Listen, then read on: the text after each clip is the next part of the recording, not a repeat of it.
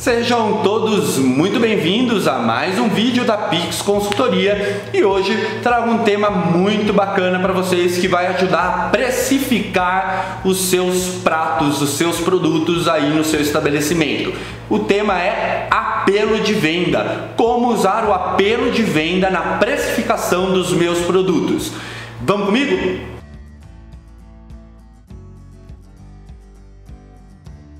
Bom, pessoal, quando eu faço a precificação de um cardápio, eu levo muito em conta o apelo de venda. Qual é o apelo que um produto tem na venda? Então eu costumo usar um exemplo muito básico que eu acredito que vai fazer você entender de uma vez por todas o que é apelo de venda. Então imaginem que eu tenho um rondelli de presunto e queijo e o outro rondelli de frango e tomate seco, né? Frango, tomate seco e queijo provolone, né? Vamos colocar aí esses três ingredientes. Quando monto a ficha técnica desses dois pratos, eu vou perceber uma coisa interessante. Eu vou perceber que o custo de produção do meu canelone de presunto e queijo, de presunto e mussarela, é mais alto do que o custo de produção do meu rondelli de frango, tomate seco e provolone. Isso porque presunto e queijo é caro. Quem trabalha com restaurante sabe que presunto e queijo são dois produtos que são caros, não são baratos. Custam aí é, na faixa de 18 a 25 reais o quilo. Então não são produtos baratos. Só que quando eu penso como o meu cliente, ou seja, quando eu me coloco na posição do meu cliente, pensando aí como um cliente comum, um leigo no assunto de gestão de restaurante, eu tenho a impressão de que o rondelli de frango, tomate seco e provolone, ele é mais chique, vamos falar assim, ele é mais sofisticado do que o tradicional rondelli de presunto e queijo. Isso porque na cabeça do leigo, presunto e queijo é algo banal, é algo do dia a dia, é algo que eu passo, pego meu filho na escola, passo na padaria rapidinho, pego 100 gramas de presunto, 100 gramas de queijo e vou para minha casa. É algo do dia a dia, é algo banal. É, se você como gestor, como proprietário, for cobrar mais caro que deveria, mais caro pelo presunto e queijo pelo frango, tomate seco e provolone,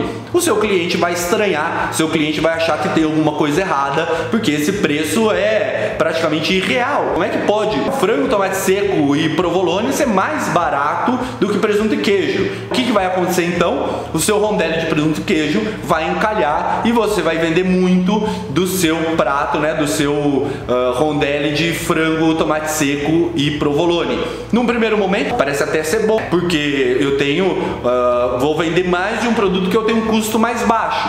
Mas por outro lado, você vai encalhar outro produto na prateleira, que vai perder a validade do seu rondelli de presunto e queijo. Então não é bom, não é bom, isso não é legal. É bom que eu venda os dois, que eu tenha saída, que eu dê saída para os dois. Então o que acontece aqui? Eu tenho que usar o fator apelo de venda para que eu equilibre o preço tanto do rondelli de presunto e queijo quanto do rondelli de frango, tomate seco e provolone.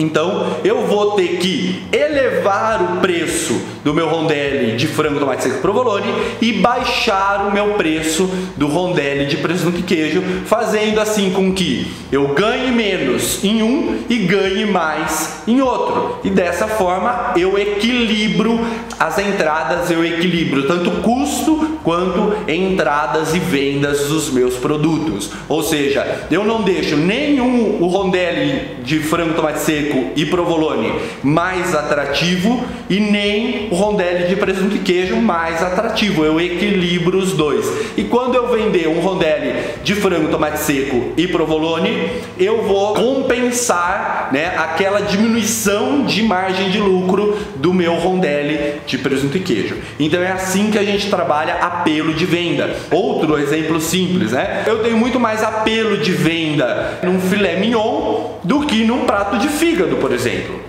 que significa isso? Que eu posso vender o meu prato de filé mignon um pouco mais caro e o meu prato de fígado um pouco mais barato. Ou seja, eu sei que é difícil você vender fígado no seu estabelecimento, mas da mesma forma acontece com uh, carne vermelha e frango, carne vermelha e peixe. Por mais que tenha, tenham pessoas aí que uh, prefiram peixe, você pode aí preferir peixe, gostar mais de peixe do que de filé mignon, mas eu tenho quase certeza que na maioria das pessoas que não sejam vegetarianas, é claro, é, vão preferir o filé mignon porque ele tem mais apelo de venda do que um peixe, né? Aqui no Brasil, pensando na nossa cultura aqui. Beleza? Isso aí, pessoal. Espero que vocês tenham entendido definitivamente o que é apelo de venda dentro de um restaurante e se esse vídeo foi relevante para você, ajudou a melhorar a precificação do seu negócio. Compartilhe ele com seus colegas de trabalho, dê aquele joinha legal aí embaixo. Se inscreva no nosso canal se você ainda não é inscrito e, como eu sempre falo, um forte abraço e até a próxima!